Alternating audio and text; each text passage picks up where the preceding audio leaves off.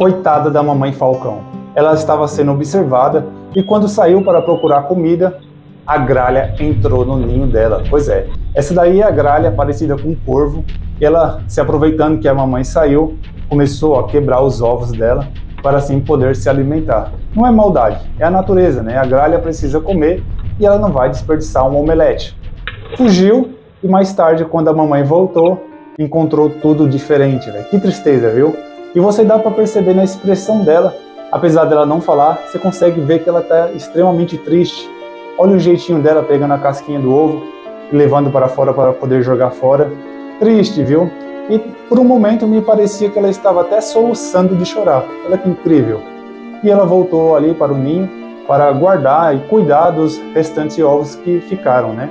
Só que a gralha, viciada, voltou para comer novamente.